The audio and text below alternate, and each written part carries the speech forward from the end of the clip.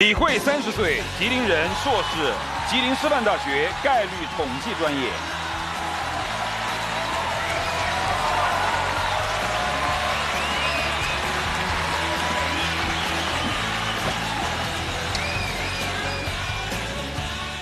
涂磊老师，你好，张萌老师，十二位老板，亲爱的朋友们，大家好。我是李慧，桃李满天下的李，实惠贤惠的惠。二零一零年毕业于吉林师范大学概率论与数理统计专业，硕士学位。有五年在北京从事国际学校双语数学教学及管理的工作经验，同时也曾负责学生的留学申请工作。今天站在非你莫属的平台，想要寻求一份与教育相关的管理工作，或者是其他十二位老板认为适合我的工作。谢谢。老师，你好。嗯，数学呢曾经一度是我最喜欢的专业，所以我一见李慧的时候觉得特别有亲近感。嗯，他说呢，他立志一直想做一名不让学生讨厌的数学老师。他呢，解决问题少年应该说超级有手腕儿，这个也是他的一大教学特色。他有一句人生信仰说：“我要先做名师，然后再做教学管理。”那么因此呢，这也是他的两个求知意向。因此我推荐李慧。嗯，谢谢张萌老师。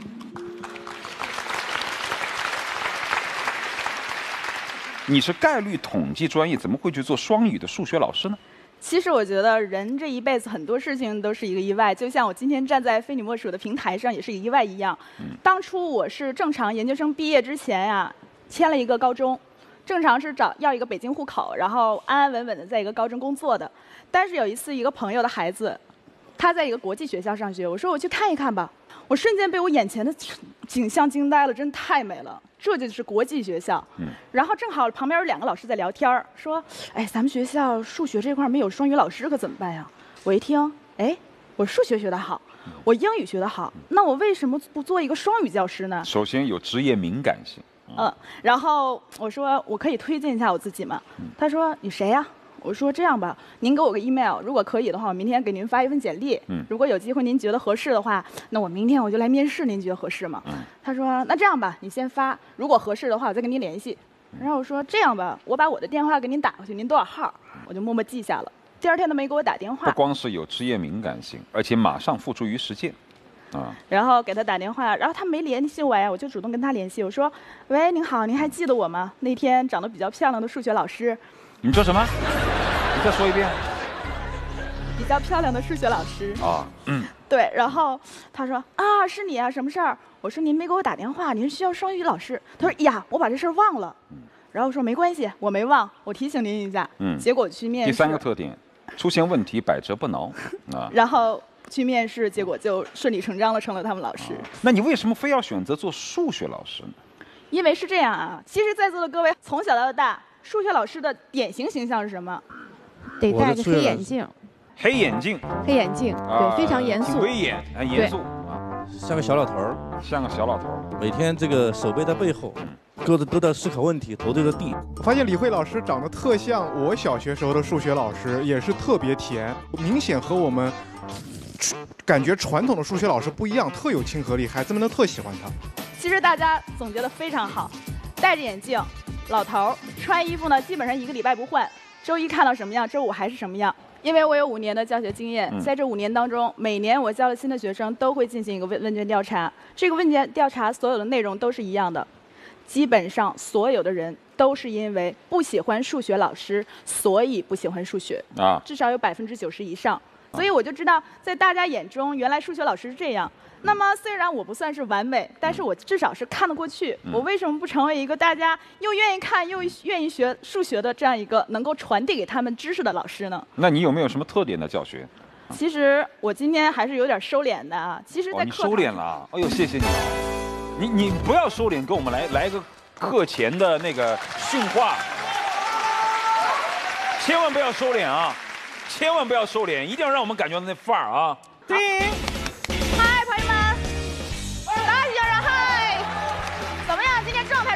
困不困？就对了。为什么呀？你们看上谁了？是不是看到我了？今天我比昨天怎么样？更漂亮是吧？你们非常幸运，有几个人有这样的荣幸啊？你们想想，一辈子又能看美女，又能学好数学，有几个人？你们是全世界独一无二的啊！好，我今天给大家讲的问题是关于函数。函数有个概念就叫做 one to one，就叫一对一。那么今天呀，我们就给大家讲这个内容。可以呀、来，把话筒给旁边的男生。喜欢哪个老师？呃喜欢数学老师喜欢这位老师是吧？啊，对，非常喜欢他为什么呢。。呃，因为非常喜欢他，所以把他娶到家了。啊，原来你是丈夫是吧？啊，对对对对我怎么一点就点中了呢？我觉得是这样啊。本来他应该是可以靠脸吃饭的，非要靠才华吃饭。啊啊，就是这个我就觉得他非常靠谱。嗯，所以说我希望呢，这次他来这个舞台呢，非你莫属这舞台呢，希望能找到一个靠谱的老板，嗯，让他能在他职业生涯上有个更大的飞跃，那你觉得。这十二家企业哪一个能够施展他的才华？呃，其实应该是最明显的应该是优胜教育，因为毕竟是跟教育相关的这一个行业，他这么优秀，干嘛要到这儿来应应聘呢？需要有一个很大的平台去做一个传媒，把它推，就是让更多人看到。如果在线下去做招聘呢，可能呃关注的是有限的。我我觉得舞台还是交给我老婆吧。之前我们沟通交流的时候，他说，他人生我问你最崇拜谁啊？这人生，他给我答案是最崇拜的就是你。啊是吗？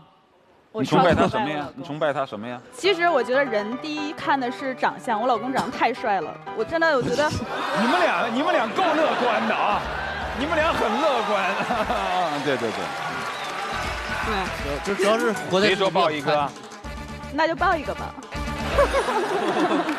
哎呦，你们俩心可够大的，你们俩。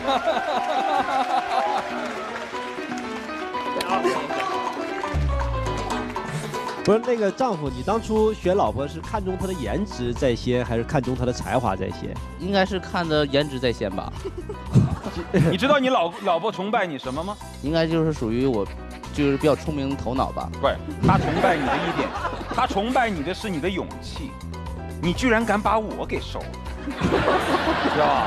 来，谢谢，请坐。好，谢谢。好，很外放，啊，也很有范儿。那像你这样的老师，应该是什么学生都镇得住啊？你有没有碰到过问题学生？你是怎么解决的？呃，其实，在我的职业生涯当中，遇到学生非常多。我其实稍微我有一个可能冒犯您的地方，我认为他不能叫问题学生，嗯啊我可能用错了嗯有个性。啊，有个性。对，嗯，我曾经遇到过，因为我教的是国际学校，国际学校孩子大部分家境都非常优越，自然有个性是很正常的。那么在这个过程当中，我希望做到的是什么呢？我能够稍微纠正他的价值观和人生观。举个例子，我们班有个女孩儿，她长巨漂亮，嗯家里巨有钱。你要现场模拟哦。好，没问题。嗯现在我是那个女同学，我觉得我是世界上最漂亮的女孩。反正我们家有钱，我将来也不用学习，将来我妈花钱把我送大学就完事儿，毕业了反正我找个有钱老公就完事儿了呗。好，下面角色是慧慧老师我，那您假装那个学生啊，吗我假装，好反正我漂亮。啊，其实我不知道该怎么解决这个问题，但是突然有一天我在走廊走的时候，我听他在他们班大喊：“哎，你们这帮男生能不能看出我是美女啊？一天天的就是天天看着我是美女，你们根本就不知道我有多漂亮。”这个时候我就发现还有这样的人呢？真有啊！结果我听到以后，我突然发现，哎，我有想法了。我私下找他，我说那老师，：“哎，咱们俩聊聊呗。嗯，你有没有见过我这么漂亮的人？” 真是世界上头一次看到。嗯你觉不觉得你长得特漂亮？嗯，但是你发没发现一个问题？世界上漂亮女孩，但是有一个最大缺点，没有表现的平台。啊，你不能光在班里边表现你漂亮啊，你是不是得让更多人看到？我现在可以给你个平台，全学校的一个平台，怎么样？啊，想不想去？他采用这样的引导方式。想去吧？想去好，那时候你的美展现出来了，啊？但是可不是轻易让你上这个讲台。那要怎么样呢？你之前数学多少分？二十多是吧？没那么差吧，二十多，好歹一个五十九吧。他真的是二十多分，数学 二十多分啊二十多分。啊！你这次考试嗯，期末考试，如果只要得五十五分就行，嗯因为我们及格是五十分，五十五分就行，怎么样？啊，有没有信心？行啊，这是一种个性学生啊。呃，今天你来求职的是教育和行政类管理岗，但教育只有优胜教育。那管行政管理岗，你有哪些意向企业？呃，是这样，因为我在过去五年一直是做教育，但是我一直希望我的职业规划呀，一共有两条，第一条是做名师，第二条是做教育管理。那这个管理呢，可能是更侧重的。呃，优生教育是我的第一选择。如果其他老板所给我提供的这个职业规划和我这个方向是相对来说能够保持一个一致的话，我还是会考虑的。最低薪金要求多少？一万二。最低薪金一万二。对。有地域的限制吗？呃，北京。北京对，其他地方完全不考虑吗？因为我家在北京了。好的，来第一轮选择去火力。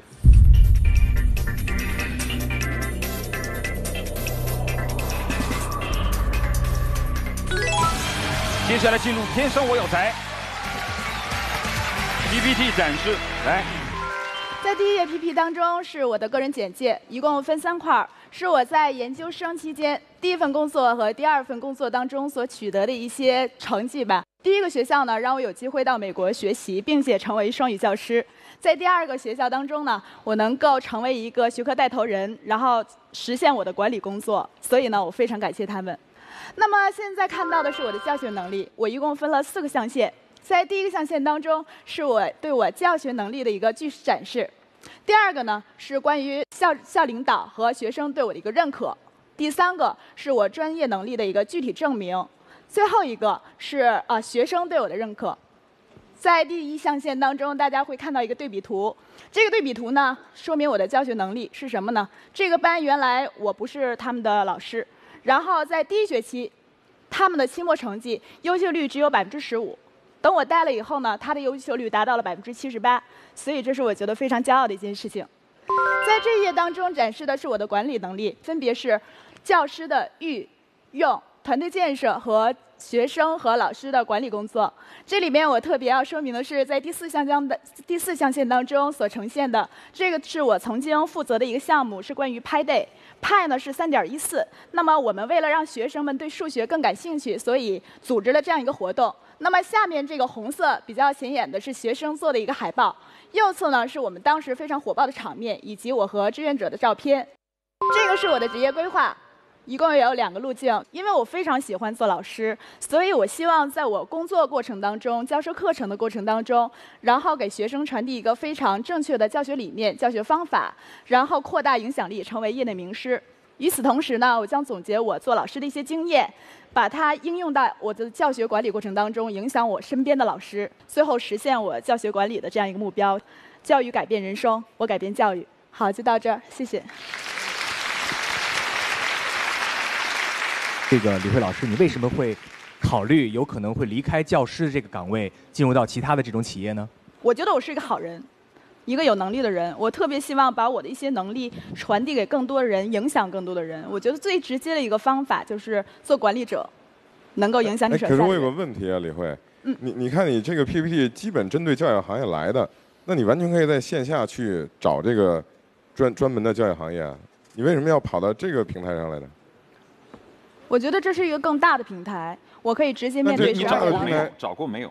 找过。投过优胜教育的简历没有？没有投过。为什么？因为你在的这个第二份工作，就现在这份工作是个很优秀的学校。其实这么优秀的学校，你拿了你这个做敲门砖，基本教育机构都会收你的，真的用不着到这儿来。是这样，就是我做老师很开心，目前的我工作也很快乐，但是因为我现在做老师的话，都是对班的学生，他的影响力是非常有限的。所以我需要一个更大的平台来实现我这个管理和名师的一个梦想。有没有这样一种可能？因为你觉得你是在数学老师当中的一个特别优秀、特别另类的，你有一个舞台梦。呃，在这里其实也是一种人生的体验。我在你在回答之前，我先说一下我曾经的一个经历。我以前在一个非常好的一个公司里面工作，而且我是知道我是绝对不会离职的。但是，我到别的公司去面试过。我就看试试看我能不能进去，我就想就想挑战一下自己，或者也尝试一下自己。我不知道你有没有这样的一个，会不会有这样的一种可能？我有尝试的想法。非常好。其实我我想说的是，非你莫属这个舞台本身就是一种吸引力。找工作是一方面，能够登上这个舞台也是。我在我我时常在想这样一个问题啊：假如说我是一个打工的人，我是一个求职者。我也许不想换工作，但我也想到这里来来展示一下自己。事实上面，在生活当中，在很多的场合，我们没有办法去展示我们的才华。就包括你刚才的这一番这一番的言论，我觉得就非常好。首先，给全国的数学老师起到了一个示范的作用。第二个来说，对于你自己来说，你也有了一个展示的机会。我我认为这一定是想寻找更大的，因为某种意义上，他在那两所学校都已经做到第二，一定有某种程度上希望在更大的平台来绽放自己的能力。所以说，他这种追求我也是理解也支持的。来到这儿啊，我并不是说来作秀。首先，我声明，我是一个非常严肃的一个求职者，我是用真诚的心站在这儿，所以绝对不是作秀的。我就是想找一个更好的平台。如果说其他老板能够亲自带我，或者是给我一个很好的一个领头人带领我走管理这条路的话，我也会考虑。他就不去优胜教育了。不是，所以这刚才我一直想问一个问题，就是你看你的前两份工作哎给你一个很好的积淀，已经让你足够可以在呃教学领域，在这种教育行业里边做管理者，对吧？但是你第二意向是在企业里边做行政管理岗，也就是说你不拒绝其他的十一家企业给你投出这个行政管理岗的职位，也不对吗？一定是行政或者是市场也可以，因为我但是你从来没有做过，你从来没有做过，你也一样跟管教育管理岗定位。从目的上来说，他到这里可以完成三个目的。第一个，他可以呃见到陈总进入陈浩那里；第二个，可以展示他的才华；第三个，他可以寻找呃更多的选择。我觉得但是其他的任何一种途径都达不到这三个目的。但李辉，你的 PPT 里面写的是你是五分教师啊，非常厉害。然后你整个路线师大毕业的，然后忽然间你当时说，如果谁给我一个特别好的职位，老板亲自带我，其实我可能就去不汽车行业了，我我可能就去那什么专。我说那你的理想在哪儿啊？其实李慧，你的话语是有些许的矛盾的。你那那么热爱教育行业，你不能说其他的行政岗位我也我我我我我也也想做，但你又从来没有做过啊，这不是矛盾的吗？对因为不对我觉得是这样，比如说我做双语教学这个事儿，它就是一个意外。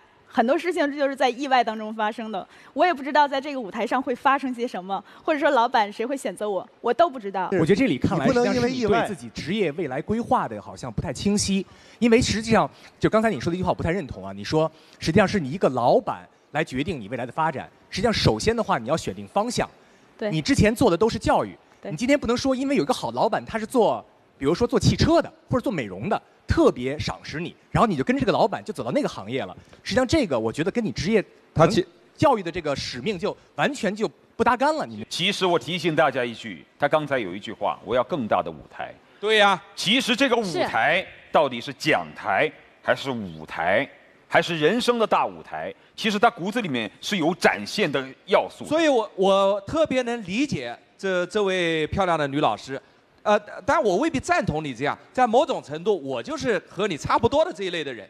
就像某种，我现在我要去演电视剧去，我要做很多莫名其妙的事。从理性的角度，这绝对是不值得的。但是我想，我此时不疯狂，还待何时？但如果说你接下来想选择行政类的或者是市场类，你刚才说的这几个管理，你没有做过，但是这种意外它不够不够不足以支撑你一万二的月薪。我再确认一下，问你一下，除了教育、优生教育之外，其他的行政类岗位你考不考虑？考虑考虑的话，你的薪金不低于多少？一万，行政老师的那个岗位跟别的岗位还是不一样，所以你考虑清楚，到底是一直做名老师，还是做一个在舞台上可以展现自己、万众瞩目的那个人？不管他是个明星还是一个企业的明星，好不好？你自己考虑一下。第二轮选择去火力。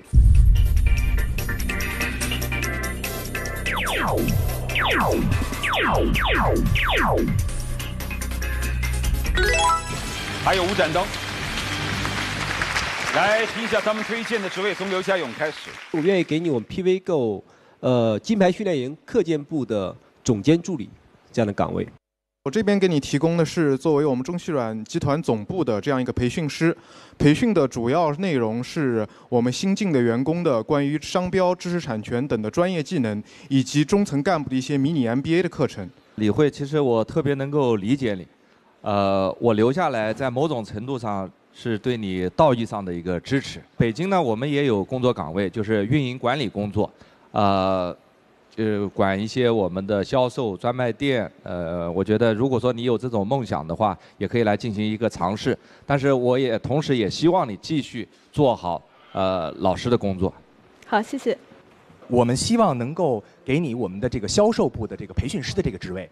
我就给你两个职位啊，一个是我们加盟连锁事业部的教务管理岗，负责我们全国加盟商的某一个学科的教学管理；还有一个就是呃，到我们的研究院、行业研究院做一个研发专员，研发你喜欢的课程方向，两个岗位。好，谢谢。好，考虑一下，五盏灯灭掉。孙，申浩东军，谈钱不伤感情。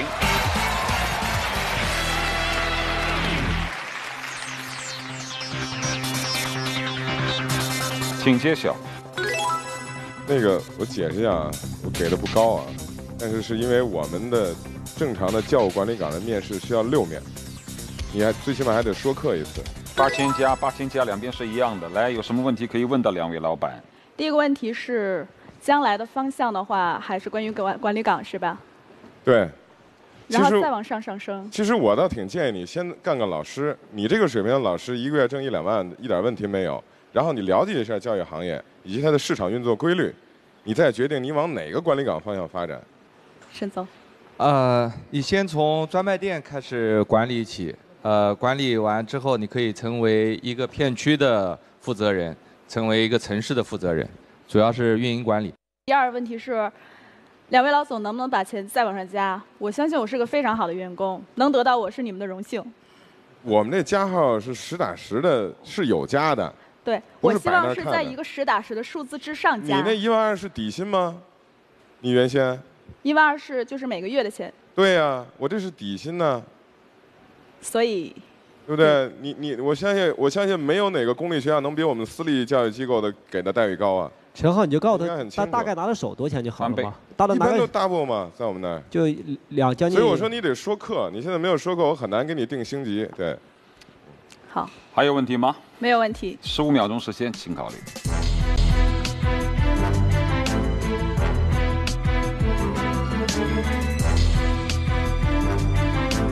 优胜教育、通灵珠宝，或者是谢谢再见，你的选择是？优胜教育。